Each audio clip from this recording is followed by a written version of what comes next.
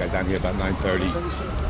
And what happened was, I'm a local 28 sheet metal worker. And what happened was, there was a bus going from the iron workers, and uh, we jumped right on there with us. 15 minutes later, I'm at ground zero.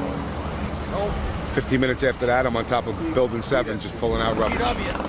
Pulled out a Port Authority cop at about uh, 11 o'clock in the morning, bagged him, and then uh, after that, it was just hands and knees for about six hours. I mean, there's no shovels going down in dirt. It's just ragged metal, and uh, it's just you just it's surreal. You just can't believe you're standing in New York. You just can't believe you're in the United States of America.